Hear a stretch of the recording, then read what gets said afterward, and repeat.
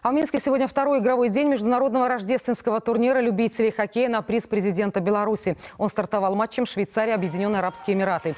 Европейцы пытались навязать борьбу бронзовому призеру прошлогоднего турнира, уступая по ходу матча 2-4. И второй период на радость болельщикам был наполнен событиями. Заброшенные шайбы, удаления, споры с судьями. В итоге боевая ничья 4-4. В эти минуты на большой арене Чижовки играют хоккеисты Чехии и Балкан.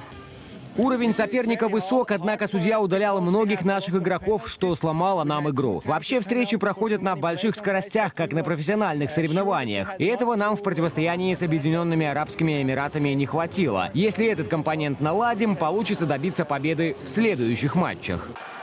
Уже сегодня вечером на Большом льду Чижовки встреча команды Беларуси и Китая. Напомним, накануне наши хоккеисты победили Объединенные Арабские Эмираты со счетом 12-7.